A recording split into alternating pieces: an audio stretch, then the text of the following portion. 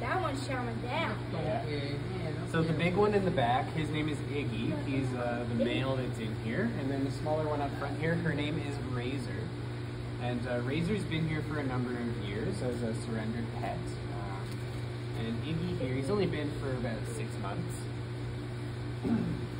Um, he was a confiscated, uh, mistreated animal by his previous owner.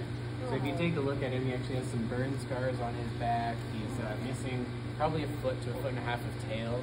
And uh, on his front right hand here, he's missing some, some fingers as well.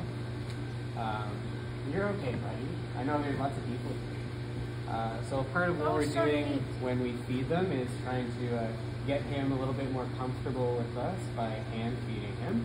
And uh, Razor has really helped him as well to realize that we're not scary people. Here you like this? No?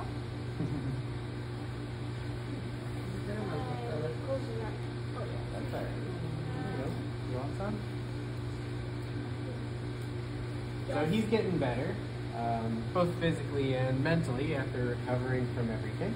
So, Uh, despite um, their color, they are green go- iguanas, that is their species. Uh, And the reason they're orange is just a genetic difference. So just like we have different colored hair, different colored skin, different colored eyes, they can have different colored scales as well.